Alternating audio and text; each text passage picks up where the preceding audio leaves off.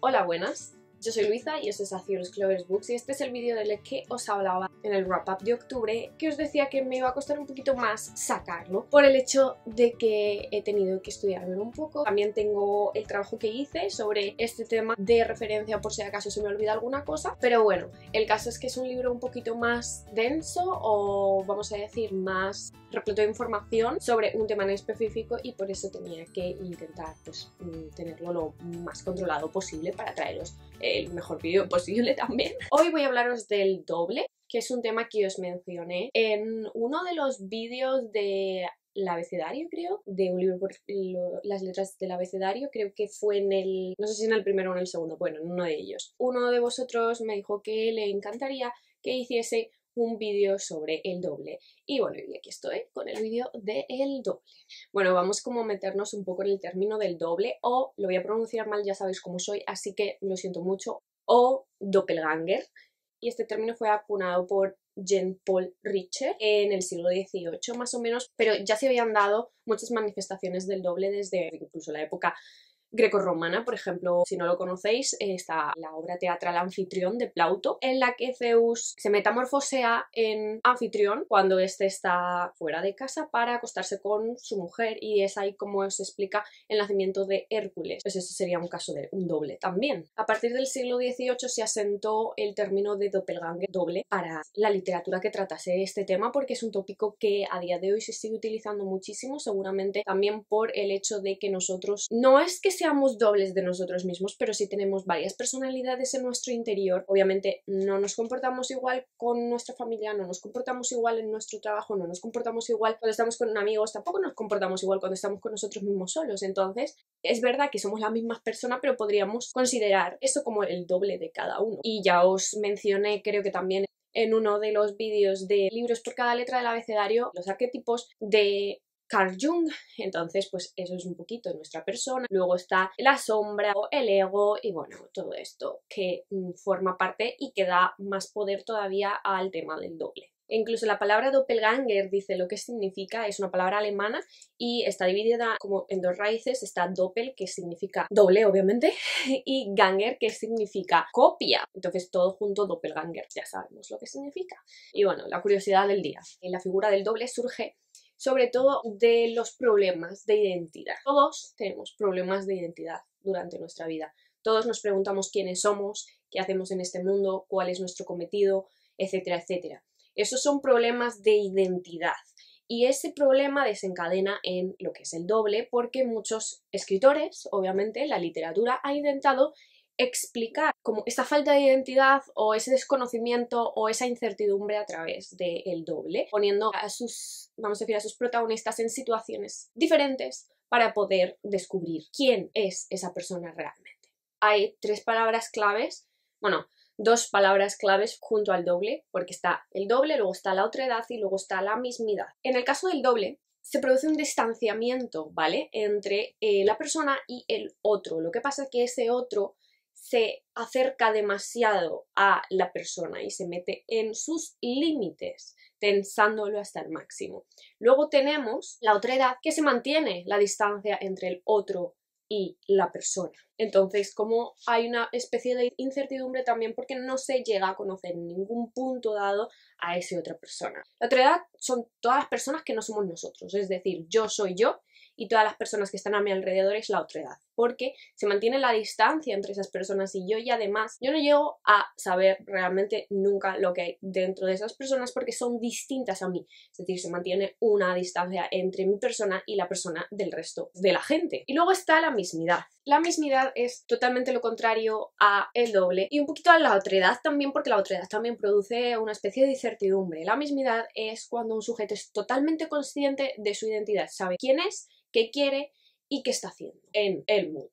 Estos tres conceptos son claves, realmente los dos, tanto la otredad como la mismidad, son conceptos totalmente contrarios al doble. Es verdad que la otredad se puede acercar un poquito más, pero igualmente es contrario porque sigue habiendo una distancia entre mi persona y el resto de la gente, mientras que en el doble directamente esta persona se mete en mis límites como persona, vamos a decir, mi espacio vital, y entonces pues volviendo al tema principal de este vídeo, tenemos muchísimos tipos de doble. Por ejemplo, tenemos los alienígenas son un doble.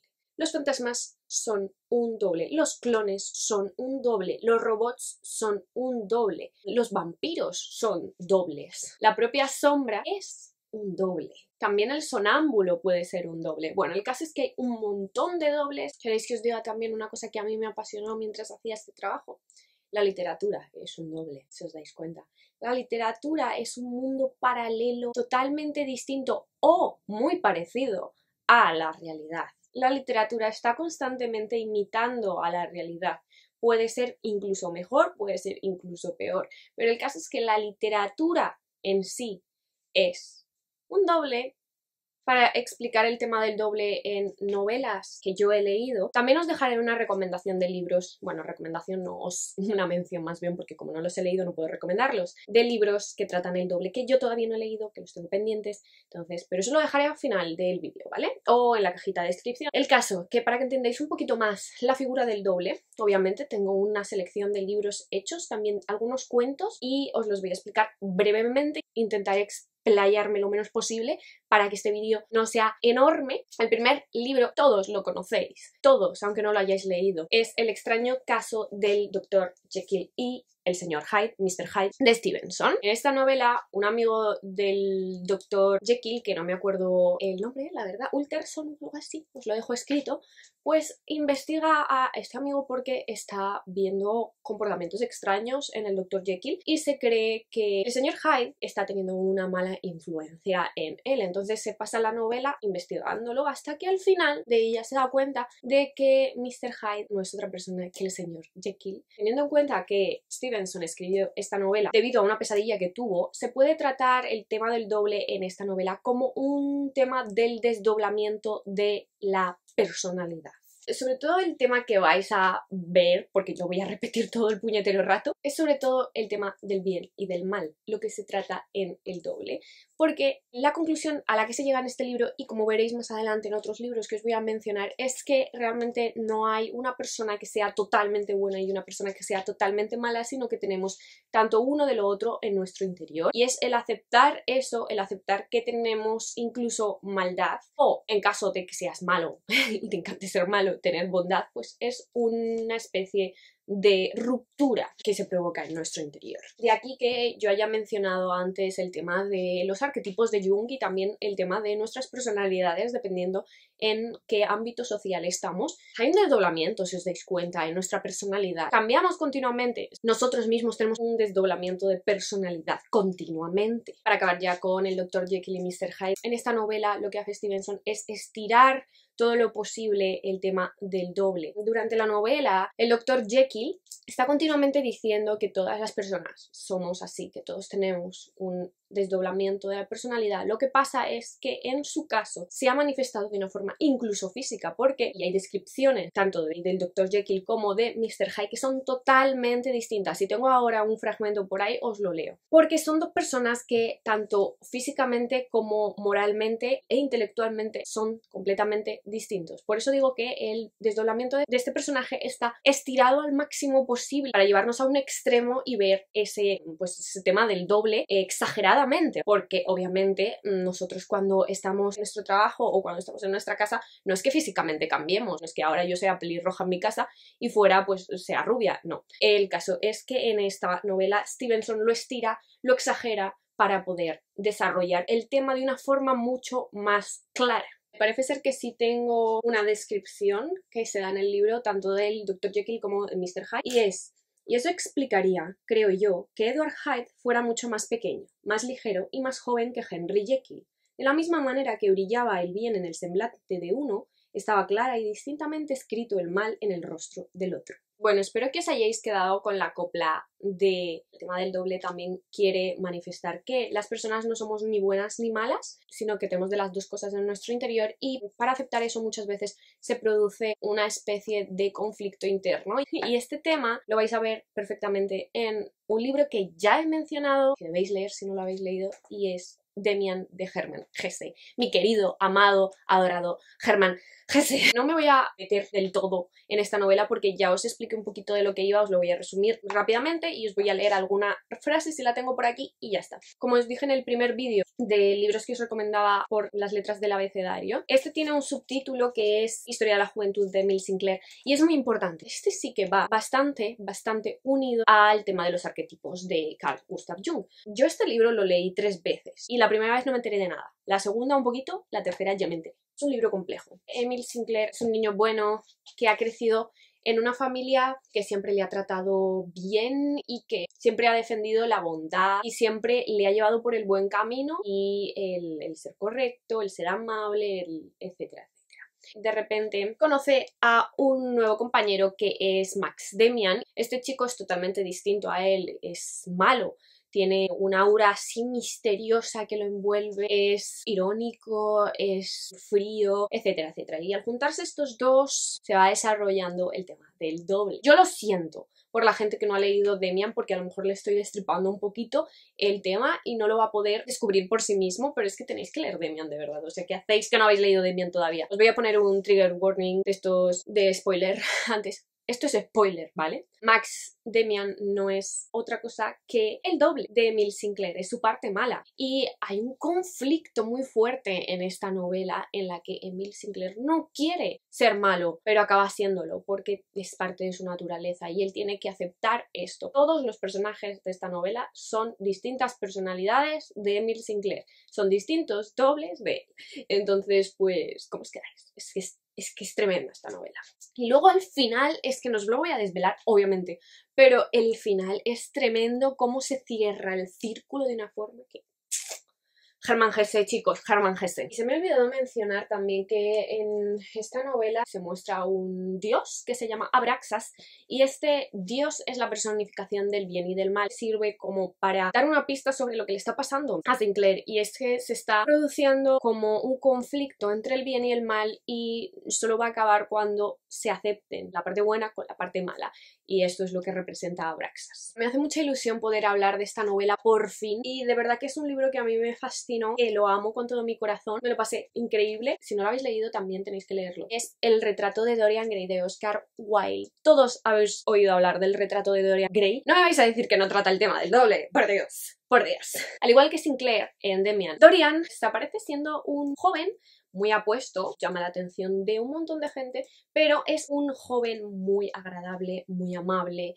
muy dulce, muy bueno, que va por la vida viviendo feliz y sin provocar problemas a nadie. Pero ¿qué pasa? Que un artista que se llama Basil Halawar quiere pintarle porque quiere inmortalizar esa belleza de la juventud que él tiene en ese momento y Dorian acepta, dice pues ¿por qué no? No, claro, obviamente.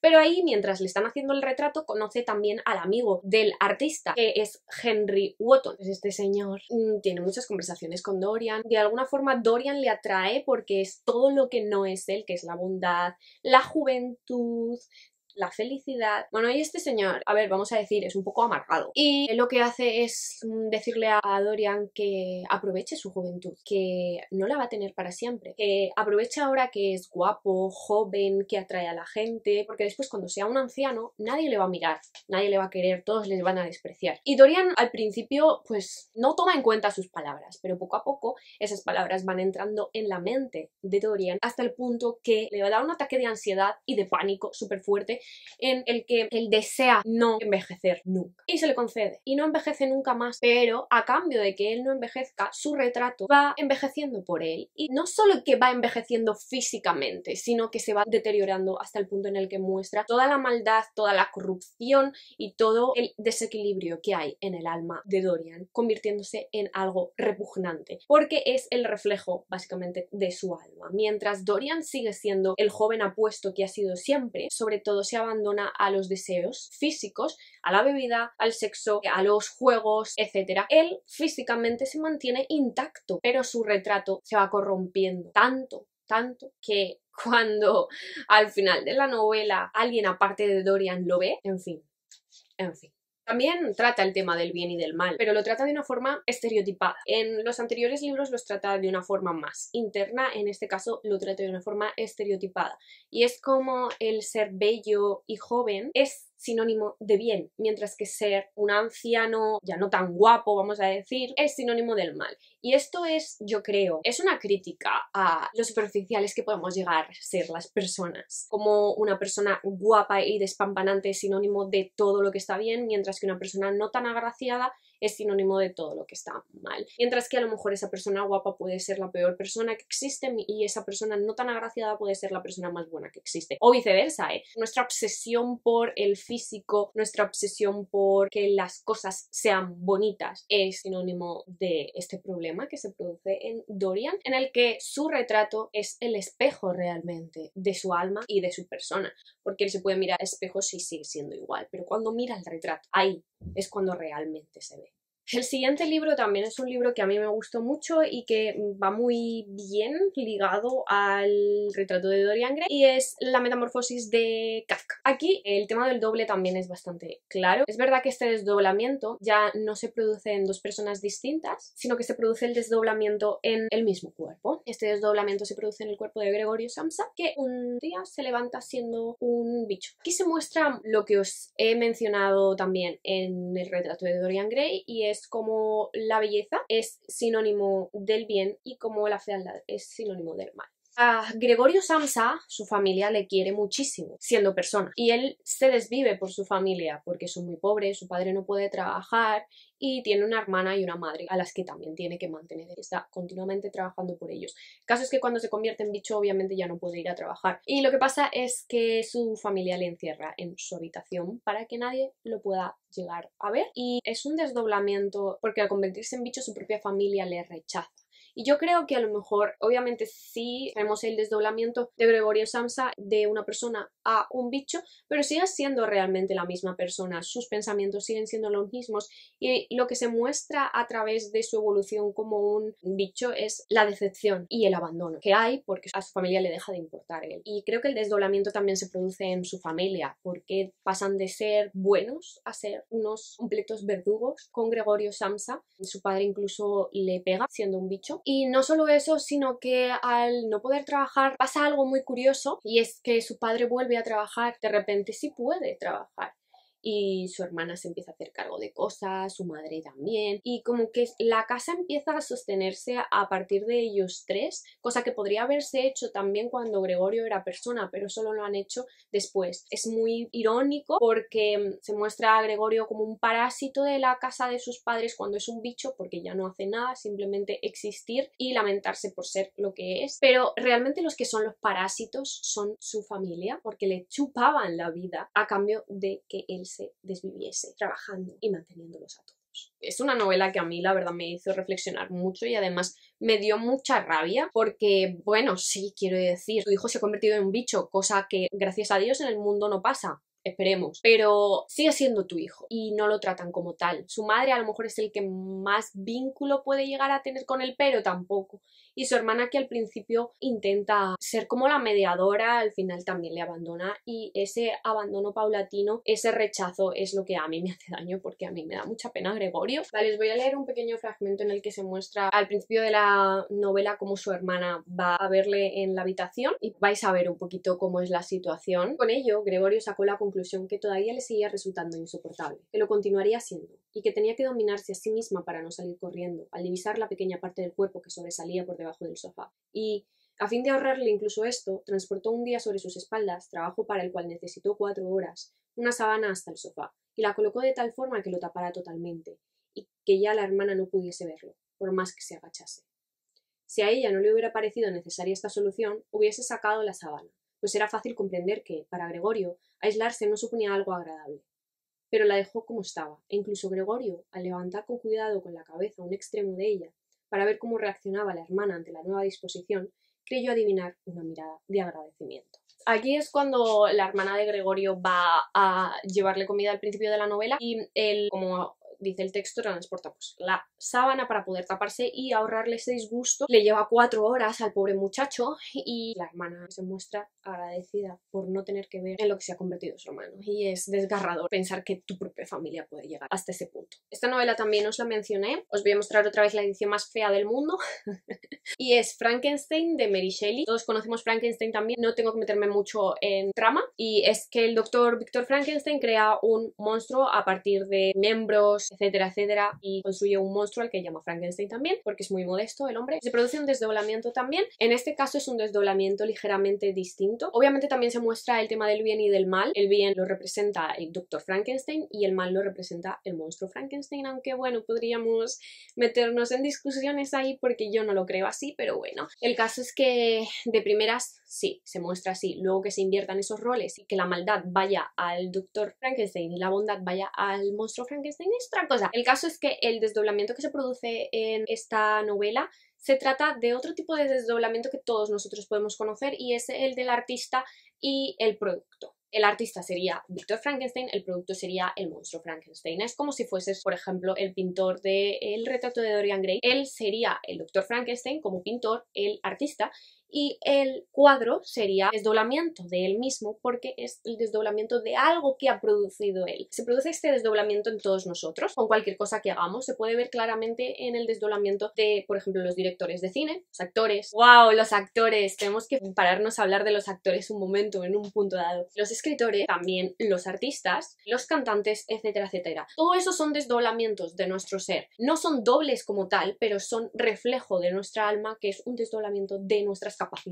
Ese es el desdoblamiento que eh, Mary Shelley muestra en Frankenstein también. Todos sabemos que el doctor Frankenstein rechaza al monstruo al verle porque le horroriza y el monstruo al principio eh, tiene una naturaleza bondadosa, él solo quiere ayudar, quiere ser querido, pero escuchadme, su propio padre lo rechaza, luego todo el mundo lo rechaza nada más verle. Quiero decir, si no le ven, agradece las cosas que hace por ellos, es bueno, pero si le ven, como tiene esa apariencia monstruosa, pues huyen de él. Y le dicen tantas veces que es un monstruo que acaba creyéndose que es un monstruo y acaba actuando como tal. Y os voy a leer un pequeñísimo fragmento. Dice, te equivocas, contestó el malvado ser. Pero en vez de amenazarte, estoy dispuesto a razonar contigo. Soy un malvado porque no soy feliz. ¿Acaso no me desprecia y odia toda la humanidad? Tú, mi creador, quisieras destruirme, y lo llamaría triunfar. Recuérdalo, y dime, pues, ¿Por qué debo tener yo para con el hombre más piedad de la que él tiene para conmigo? ¿No sería para ti un crimen si me pudieras arrojar a uno de esos abismos y destrozar la hora que con tus propias manos creaste? ¿Debo, pues, respetar al hombre cuando éste me condena? Que conviva en paz conmigo, y yo, en vez de hacer daño, le haría todo el bien que pudiera, llorando de gratitud ante su aceptación. Mas no, eso es imposible. Los sentidos humanos son barreras infranqueables que impiden nuestra unión. Pero mi sometimiento no será el del abatido esclavo. Me vengaré de mis sufrimientos. Si no puedo inspirar amor, desencadenaré el miedo, y especialmente a ti, mi supremo enemigo, por ser mi creador. Te juro odio eterno. Ten cuidado, me dedicaré por entero a la labor de destruirte, y no cejaré hasta que te saque el corazón y maldigas la hora en que naciste. Ah, ¿Qué podemos decir? ¿Qué podemos decir? Es que el, el personaje del monstruo Frankenstein es tremendo, de verdad. Conclusión, este pobre ser no consigue ser feliz nunca porque ni siquiera se le da la oportunidad. Mary Shelley es una genia. Ahora, el tema de los actores. Bueno, me vais a decir que los actores no son dobles. Los actores son la mayor manifestación de doble que existe. Se convierten en personas distintas a los que son. Toda su identidad desaparece cuando comienza la identidad de la otra persona. Solo quería mencionar esto. Voy a finalizar con una novela que no tengo lamentablemente, pero que me gustó bastante y es Aura de Carlos fuentes se produce un desdoblamiento un poco extraño y no te vas dando cuenta hasta que pasa paulatinamente la novela. Bueno, esto sí que ya es spoiler de la novela, así que tened cuidado. Tenemos el protagonista que es Felipe Montero que es un historiador que le dejan escribir las memorias de general Llorente, que es el marido de Doña Consuelo. Entonces él va a la casa de esta señora para que pueda estar en contacto con toda la vida del general Llorente y también con ella para que le cuente cosas y él pueda añadirlo a sus memorias. ahí conoce a Aura, que es la sobrina de Doña Consuelo, por la que empieza a sentir atracción. Lo curioso es que él nunca ve a Doña Consuelo y a Aura juntas. Todo el rato o ve a Aura o ve a la señora Consuelo. Hasta que en un momento dado sí que las ve juntas y se le hace muy raro la forma que tienen de comportarse la una con la otra. Pasan cosas y resulta que al final hay un desdoblamiento tanto en el protagonista como en Aura y es que resulta que Doña Consuelo y Aura son la misma persona, Aura siendo su versión joven, Doña Consuelo su versión anciana y también resulta que hay un desdoblamiento entre el protagonista, que es Felipe,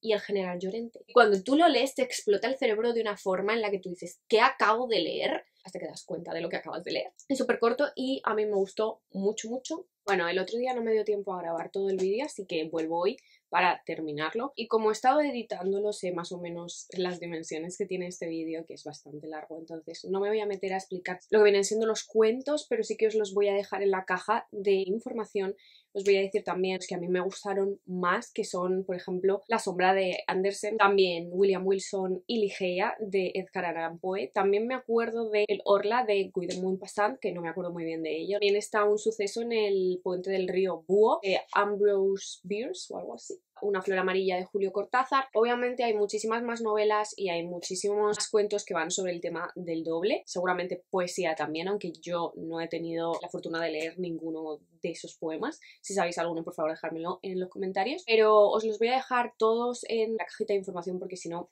me puedo pasar aquí todo el día. Espero que más o menos os haya quedado medianamente claro o que os haya picado la curiosidad por leer un poquito más sobre el doble. A mí me parece un tema súper interesante por lo que dije al principio y es que todos tenemos al final varias, vamos a decir, personalidades dentro de nosotros, seguimos siendo la misma persona obviamente, pero no nos comportamos igual en los distintos ámbitos de nuestra vida. Y eso es muy interesante, sobre todo llevado al extremo como hacen los escritores en estos libros. Y ya os lo he dicho, la literatura es el mayor doble de la realidad, los actores también son un gran doble, hay dobles por todos lados, nosotros mismos somos dobles, así que pues eso era todo. Espero que os guste muchísimo el vídeo, que no me odiéis porque sea enorme y decirme lo que queráis en la cajita de comentarios y pues eso, espero que os haya gustado mucho y como siempre muchas gracias por estar. Eh, o doppelganger, doppelganger, ¿cómo se dice? Espérate un momento. Pero ya habían habido muchos a ver. Mm, no sé cómo explicarlo. Uy, la otra edad, perdón. qué difícil es esto. La propia persona... Uy, perdón. La propia persona, digo. Vale, para explicar mucho mejor el tema del doble, voy a pasar... Se me han muerto los libros. Una, un, una no, una desdoblamiento, no. Bueno, al igual que de... Uy, Demian, iba a decir. No, Demian no. Este señor, madre mía. Fue la conclusión que todavía le seguía haciendo. Frankenstein,